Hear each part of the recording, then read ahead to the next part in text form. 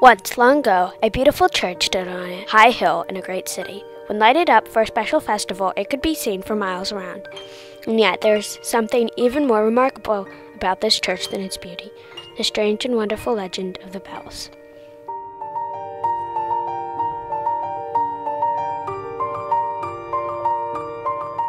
At the corner of a church was a tall gray tower, and at the top of the tower, so the people said, was a chime of the most beautiful bells in the world.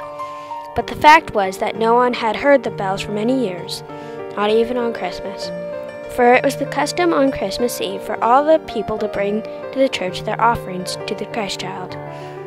And there had been a time when a very unusual offering laid on the altar brought glorious music from the chimes far up in the tower.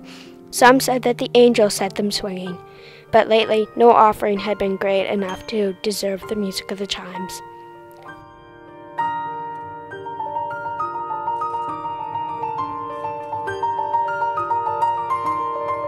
Now, a few miles from the city, in a small village, lived a boy named Pedro and his little brother Pablo.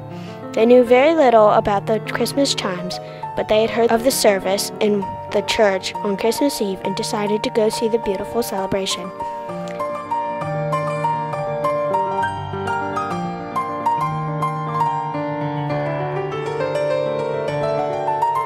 The day before Christmas was bitterly cold, with a hard white crust on the ground. Pedro and Pablo started out early in the afternoon. Despite the cold, they reached the edge of the city by nightfall.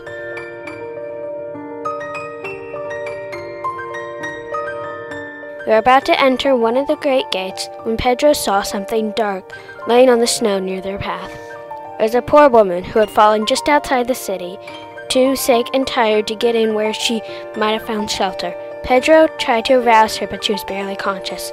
It's no use, Pablo. We'll have to go alone. Without you? cried Pablo. Pedro nodded slowly. This woman will freeze to death if no one cares for her. Everyone has probably gone to the church by now, but when you come back, be sure to bring someone to help her. I will stay here to try and keep her from freezing. But I can't leave you, cried Pablo. Both of us need not miss the service, said Pedro. You must hear and see everything twice, once for you and once for me. I'm sure the Christ child knows how much I would love to worship him, and if you get a chance, take this silver piece of mine, and when no one is looking, take, lay it down for my offering. Reluctantly, little brother hurried off into the city, while Pedro winked hard to keep back the tears of disappointment.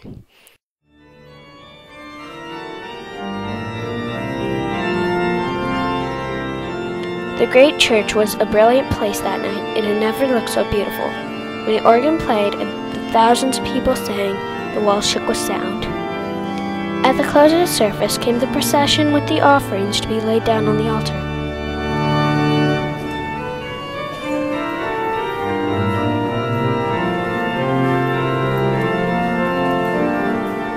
Some brought jewels, some heavy baskets of gold, and last of all, walked the king of the country, hoping with all the rest to win for himself the chime of the Christmas bells. A great murmur went through the church as the king took from his head the royal crown, all set with precious stones, and laid it on the altar. Surely, everyone said, we will hear the bells now.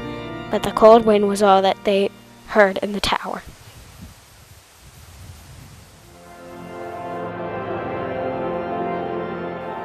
The procession was over and the choir began the closing hymn. Suddenly the organist stopped playing. The singing ceased. Not a sound could be heard from anyone in the church. As all the people strained their ears to listen, there came softly but distinctly the sound of the chimes in the tower. So far away, and yet so clear, the music seemed so much sweeter than anything they heard before. They all stood up together and looked at the altar to see what great gift had awakened the long silent bells. But all they saw was the little figure of Pablo, who had crept softly down the aisle when no one was looking and laid Pe- Pedro's little piece of silver on the altar.